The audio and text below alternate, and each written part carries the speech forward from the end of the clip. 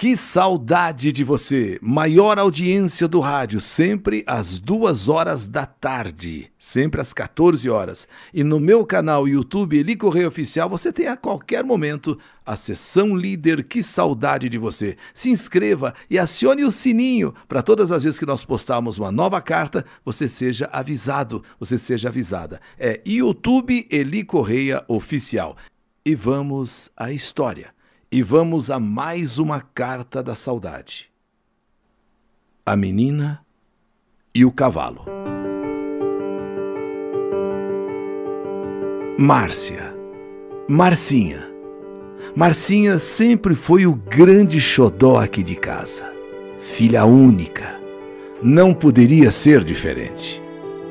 Quando ainda bebê, Márcia era muito apegada a mim e ao pai o Pedro. Aliás, Pedro vivia me dizendo: Neuma, eu quero só a Márcia, só a Marcinha, só a minha bonequinha. Não vou querer outros filhos, não.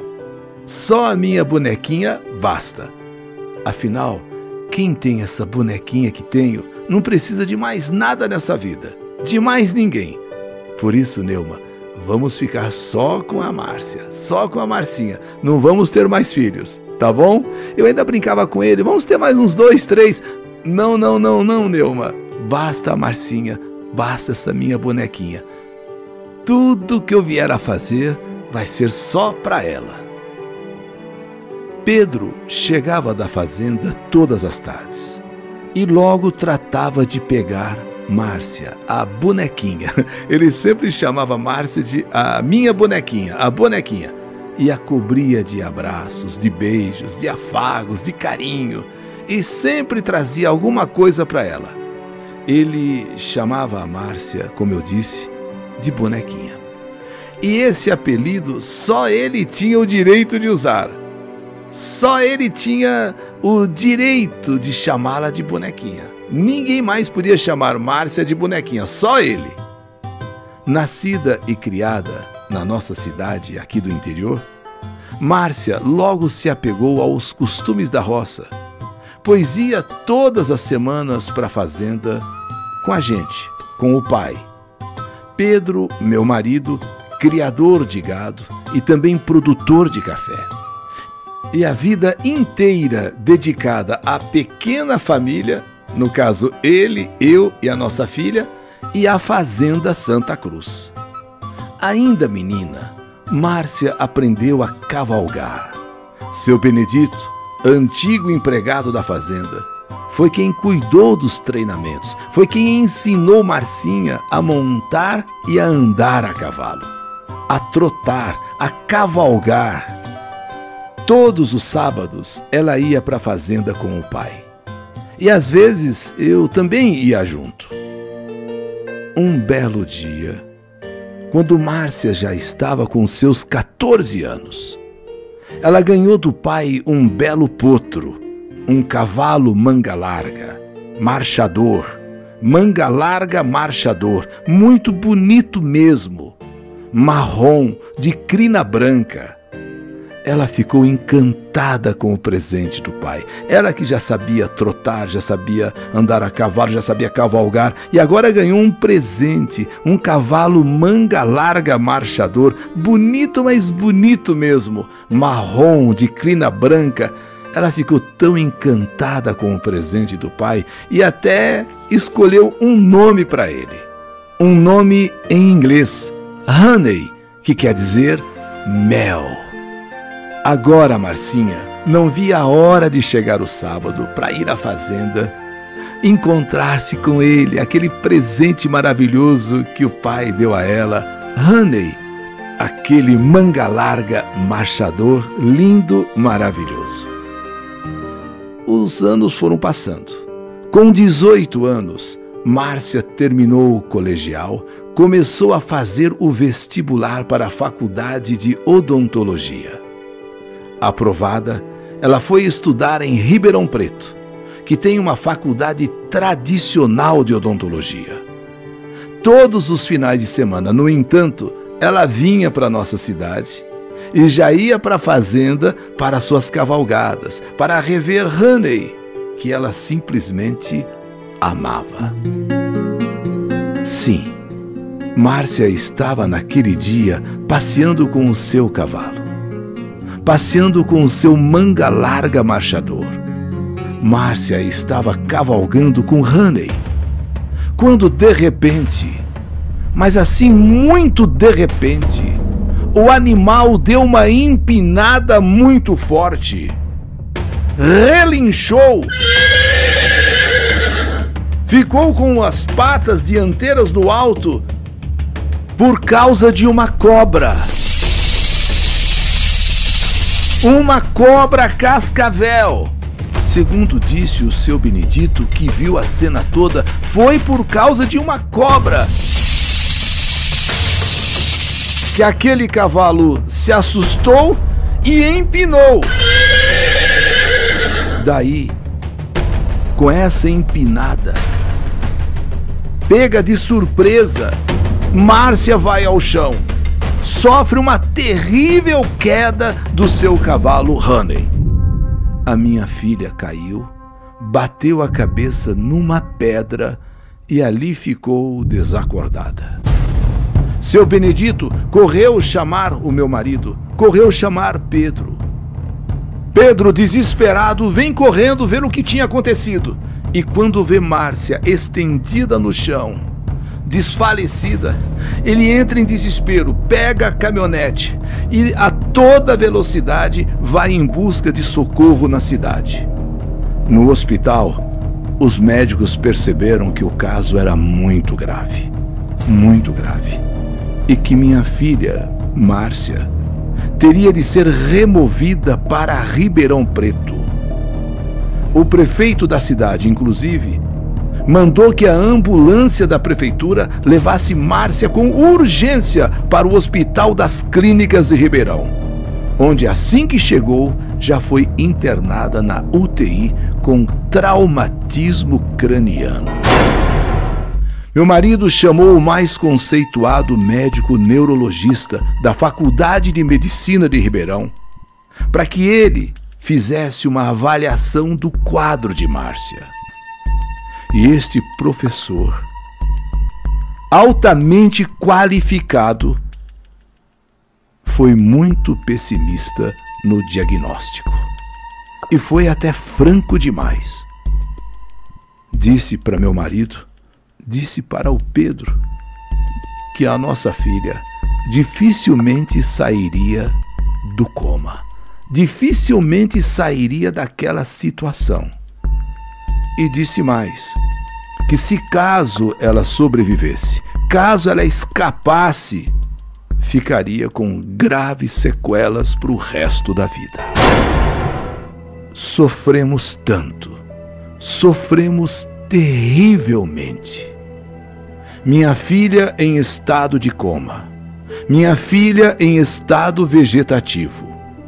E as esperanças foram diminuindo, diminuindo, até que partiram com ela no dia 27 de maio daquele ano. O acidente aconteceu dia 18. Nove dias depois, Márcia faleceu e deixou um vazio intenso, deixando uma dor tão grande em nosso coração, um vazio em nossas vidas. Eu, eu não conseguia me conformar. E Pedro, sem sua bonequinha, ele quase enlouqueceu. Imagine um homem quase chegar à loucura. Um sentimento muito grande de revolta tomou conta da gente, porque achávamos que fomos traídos por Deus. Nós sempre fomos muito católicos, sempre fomos cumpridores de nossas obrigações religiosas. Por isso achávamos que fomos traídos por Deus. Depois da morte, velório, sepultamento de Márcia, nós não acreditávamos em mais nada. Nem eu e nem o pai, nem eu e nem o Pedro. Pedro ficou tão revoltado, mas tão revoltado, que ele mandou o seu Benedito sacrificar o cavalo que Márcia tanto adorava. Como se o cavalo fosse culpado.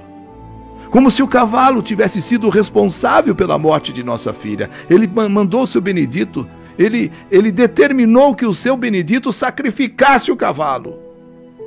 Pedro culpava o cavalo por ter matado nossa filha. Mas seu Benedito não cumpriu a ordem. E sim, levou o cavalo para um outro pasto, para um outro, uma outra propriedade, perto da fazenda, e pediu para um amigo que cuidasse do animal. Ele não matou o animal. O seu Benedito não sacrificou Honey. O nosso sofrimento continuava sem fim. Eram lágrimas, lágrimas e mais lágrimas de saudade. Pedro, inconformado, ele pensava até até em morrer, até em por fim à vida. Mas um dia aconteceu um fato. Recebemos a visita de um membro de um centro espírita para que nós fôssemos conhecer esse centro, ao qual ele pertencia que nós fôssemos até o centro, que nós visitássemos o centro e, quem sabe, encontraríamos a paz que tanto precisávamos. Como não tínhamos nada a perder, como não tínhamos nada a perder, então resolvemos ir. Pedro nem queria, mas eu insisti com ele. Fomos até esse centro espírita e participamos de uma sessão voltamos umas duas ou três vezes. E quando por fim já estávamos desistindo, já que o contato que queríamos, já que o contato que nós, sabe, pedíamos era com a nossa filha e não estávamos conseguindo. E tristes como andávamos, acabamos por desistir mesmo. Foi quando então, naquela noite, meu marido, indo para o quarto, sentiu algo estranho, como se tivesse alguém do seu lado. Ao deitar-se, sentiu-se muito cansado, muito pesado. E antes que trocássemos algumas palavras, ele pegou no sono. Mas um sono forte, um sono pesado mesmo. E em seguida, eu também dormi. Logo dormimos, logo dormimos. Quando o meu marido começou a falar em voz alta. Falar em voz alta, só que dormindo. Como estivesse respondendo a alguém alguma coisa. Ele falava em voz tão alta, ele conversava em voz tão alta que acabou me acordando. E acordada, eu me assustei em vê-lo como se estivesse conversando com alguém. Pensei até mesmo em acordá-lo também. Mas preferi não fazer isso. Preferi deixá-lo dormindo e conversando. E ele dizia: Sim, filha. Sim, é você, minha filha. Puxa, oh meu amor, oh minha bonequinha. E nossa filha, no sonho do pai, de acordo com as respostas que ele ia dando, da maneira que ele ia conversando, dava para se imaginar o que a filha estava falando para ele, o que a nossa filha estava conversando com o pai. Pai, primeiramente, eu tenho uma notícia muito importante. Aqui onde eu estou, eu venho sendo bem tratada, Pai. Muito bem tratada. Aqui é um hospital muito grande. E eu vivo rodeada de médicos e enfermeiros do plano astral e que estão me dando toda a assistência necessária. Eu estou sendo preparada, Pai, para viver a plenitude desse novo plano de vida, onde não há maldade, onde não há inveja, onde não há vingança, onde não há violência, onde não existem lágrimas. Por aqui, Pai, tudo é paz e amor. E por falar em paz e amor, e por falar em lágrimas, Pai, eu faço um pedido muito especial. Para de chorar por mim, Pai. Você e a mãe, parem de chorar por mim. O desespero e o sofrimento que vocês estão vivendo atrapalham o meu desenvolvimento. Neste novo plano onde estou, essas lágrimas, Pai, não me fazem bem. E com elas eu não me sinto feliz. Eu não quero que culpem o cavalo pelo que aconteceu. Ele não teve culpa de nada, Pai. Ninguém teve culpa de nada. Tudo aconteceu porque, na verdade, eu fui chamada para cumprir uma missão aqui com meus novos amigos. Procurem entender essa realidade, porque, Pai, é a mais pura verdade esse meu relato. Daqui onde eu estou, eu estarei zelando pelo Senhor, viu, meu Pai? E também pela minha mãe. Eu deixo meu grande abraço a todos. Mas saibam que eu estou muito bem e estarei muito feliz vendo que o sofrimento de vocês, com a minha partida, chegou ao fim. E entendam bem, Pai, e mãe. A saudade é natural, é algo normal. A saudade, sim, mas lágrimas, tantas lágrimas, não, pai. Não. Parem de sofrer tanto. E vocês estarão me fazendo feliz aqui onde eu estou. E que Deus abençoe a todos. E entendam que a minha partida foi uma obra de Deus. Foi assim que o Senhor quis para que eu estivesse hoje onde eu estou. Só está me faltando a sua paz, Pai. Então, enxugue suas lágrimas e peça para a mamãe que também não sofra tanto porque só assim eu ficarei feliz. Deus abençoe a todos. E daqui onde estou, estou rezando e orando por você, Pai, pela mãe e por todos. Um beijo, Pai. Um beijo para a mãe. E neste momento, o meu marido acordou. Estava em estado assim de êxtase. Meu marido estava em estado de graça. A filha que não se manifestou lá no centro havia se manifestado agora em sonho. Pedro, naquele momento,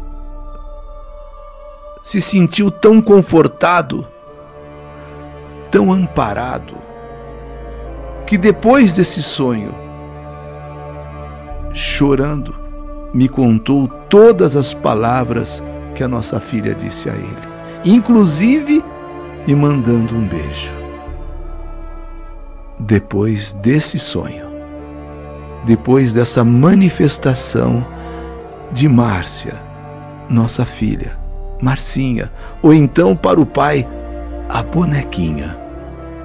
Depois disso, retomamos a nossa rotina, sem abandonar a nossa fé, sem esquecê-la, porém, sem sofrer tanto como sofríamos. Márcia, Marcinha, é a mãe. o pai te manda um beijo. Um beijo para sua bonequinha. De onde você está, filha? Olhe sempre pela mãe. Olhe sempre pelo pai. Nós estamos agora em paz. Nós estamos agora mais confortados depois deste sonho.